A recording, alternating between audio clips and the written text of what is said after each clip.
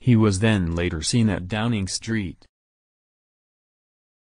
Dominic left his home whilst his wife had symptoms he claims he behaved legally and responsibly